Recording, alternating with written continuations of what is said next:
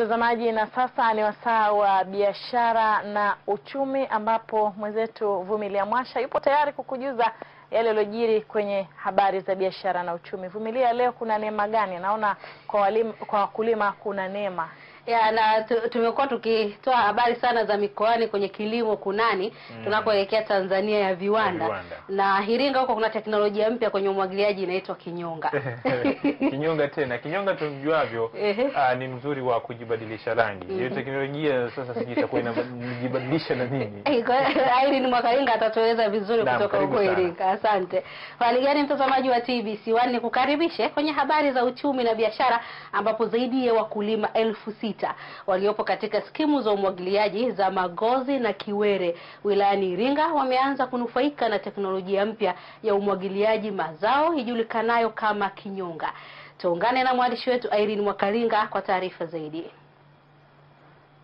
Vifaa hivi vijulikanavyo kama kinyonga na vinasa maji vinamwezesha mkulima kutumia maji pale tu yanapohitajika na kwa muda unaotakiwa, ambapo zamani mkulima alikuwa akiruhusu maji mengi kuingia shambani na kusababisha upotevu. Wakulima ambao wamepata mafunzo ya matumizi ya vifaa hivyo wanaeleza wanavyonufaika. Elimu kubwa sana, alafu imetupunguzia adha ya ugombanishi wa maji na pia imetukwamua kiuchumi, kwa sababu mwanzo tulikuwa tunajaza tunajua mpunga unahitaji maji mengi, kumbe mpunga huhitaji maji mengi.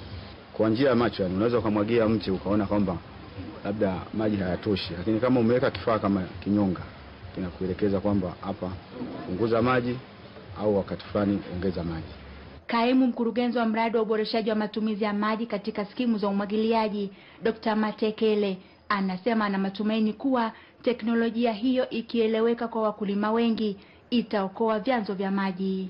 Katika hizi skimu tatu ambazo tumeanza kufanya nazo kazi, uh, wakulima wameweza kupokea uh, hivi vyombo na wameweza kuanza kuvitumia katika maeneo yao, na tunaona kwamba kuna matokeo chanya ambayo sasa uh, yanajitokeza.